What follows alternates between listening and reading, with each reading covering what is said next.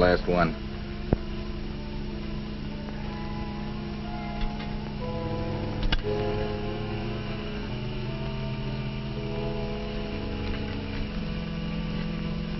Well, maybe it'll be quiet tonight.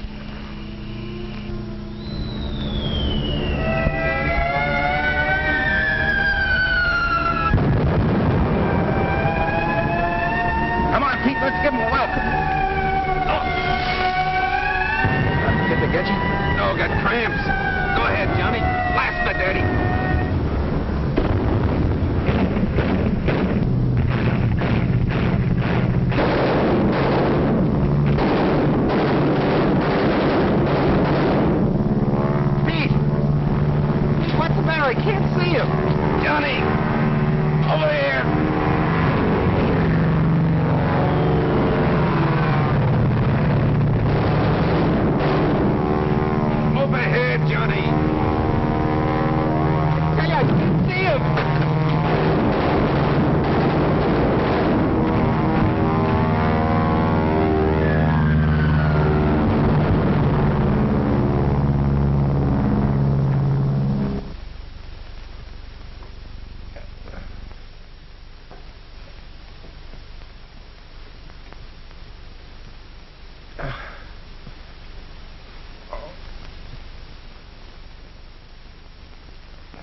Nurse. Amputation? Mm-hmm. We're out of anesthetic. Then we'll have to do without them. But the shock, Doctor. Can he survive it?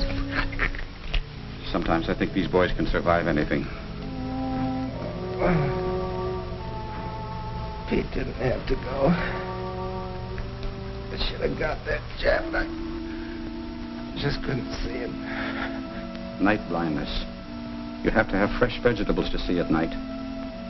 Hang on, Private.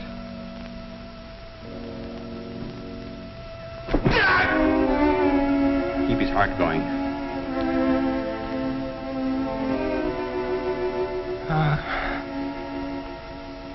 I thought that was it. Hold tight. I can't go out now, nurse. Not now. My wife, Mary, and Mom, I got to tell them something. Pete and me were talking about it.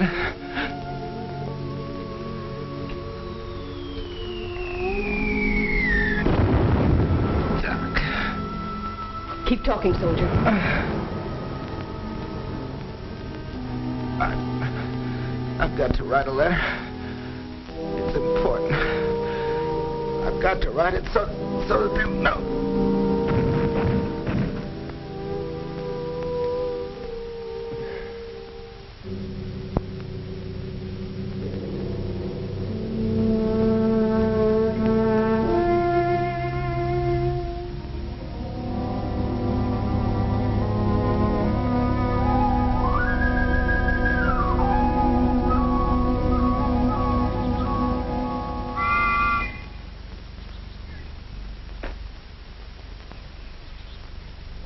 They didn't catch me napping. I stocked up. That you just ought to see that cellar of mine. I've got 28 cases of canned goods and 200 pound sacks of sugar and all the co- Excuse me, Mrs. Jackson.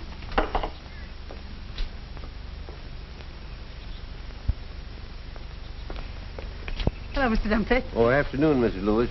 Nothing but the regular monthly bills. Ad from the Emporium. Oh, yes, uh, here's another little item. A letter from Bataan. From Johnny. Mary! Mary! A letter from Johnny.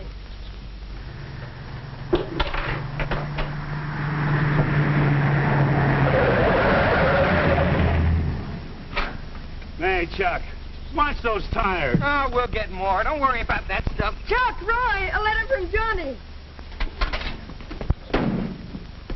Well, gee, let's have a look. Charles, we all want to see it. Come up on the porch.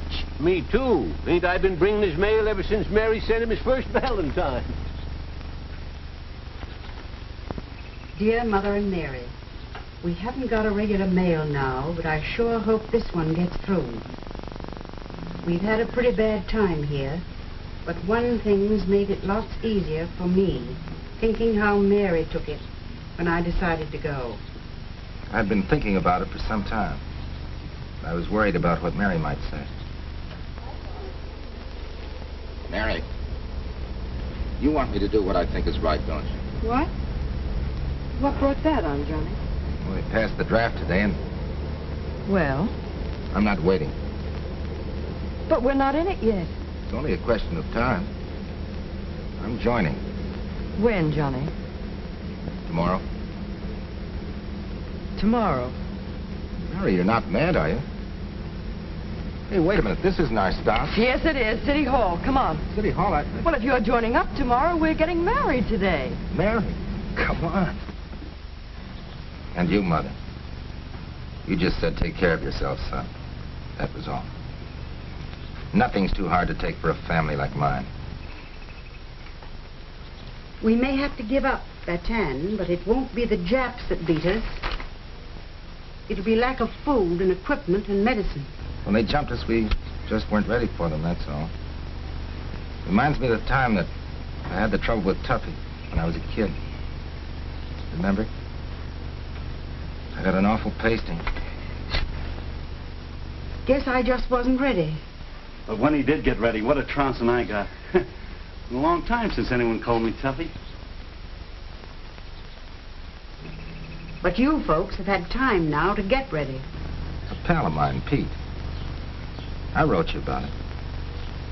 He died because I couldn't see good enough to knock down the Jap that got him. The doc called it night blindness. You get that from not having enough vegetables. We didn't have enough of anything. It's too late to do us here on Bataan any good. But it'll win for the others who are carrying this fight. This is the important part. You've all got to do without things. Pete told me a lot of this. He was going to be an accountant. He had a great head for figures. For one thing, don't hoard food. Keep it working.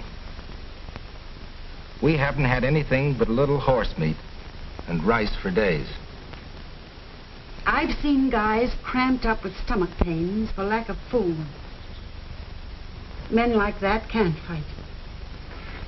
And along the same lines, Mom, don't waste any kitchen fats. Kitchen fats make glycerin, and glycerin makes explosives. Two pounds of fats can fire five anti-tank shells. Last year, housewives threw away two billion pounds. You want a new refrigerator, Mom. That's 140 pounds of steel. Two million Americans bought refrigerators last year. Today, they've got to do without. That was enough steel for 20,000 light tanks, for 66,000 anti-aircraft guns, for the hulls of 21 cruisers to sink the Japs. And that brother-in-law of mine, Roy, why, that galoot would never use the same razor blade twice. It takes 12,000 razor blades to make the tail assembly for one 2,000-pound bomb. Roy'd wear a muff if he knew the blades he saves might make the egg that wrecks the German munitions dump. And rubber. That's the worst. No matter what you hear, there isn't enough. Don't let anybody waste it. Tires. Ask Chuck to go easy on those curves, will you? See? I've been telling you. Yeah, I guess you're right. Murdered rubber's going to mean dead soldiers from now on. Five car tires make one bomber tire. Four battleships could be equipped with rubber used by weekend golfers and other athletes in three months of last year. That's a lot of rubber. Tell the folks, Mom, they've got to nurse those tires like their own babies. And here's one that really opened my eyes. Shellac from six jukebox records would waterproof the primer cups of 100,000 rounds of 30 caliber cartridge. Mom, Pete died because we didn't have the things we needed. The others, the millions in the fight now, will get two Japs for every Pete that was caught short. You folks will have to go without the little things so they can have bombers and guns and tanks that we didn't have. We know we can count on you. No other American boy is going to die in a strange land because somebody at home didn't go without. I don't think I'll... What is it? What's wrong, man? I thought...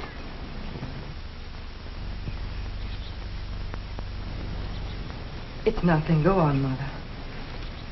Well, there isn't much more. I don't think I'll be able to write again soon. But don't worry about me. Tell Mary I think about her always. And God bless you all. John.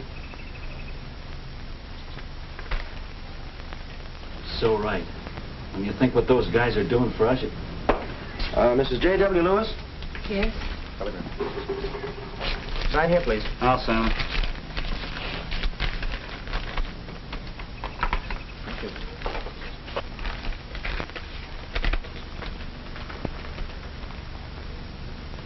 Deeply regret to inform you that your son, John W. Lewis, died at Bataan, February 6th.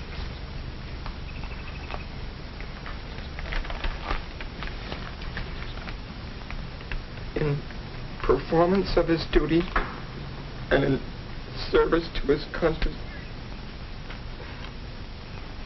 Johnny G. Love.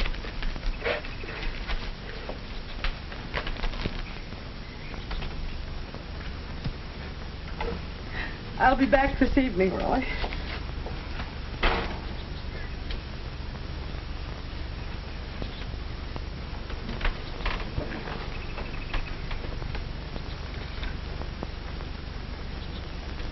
No other American boy is going to die in a strange land because somebody at home didn't go without.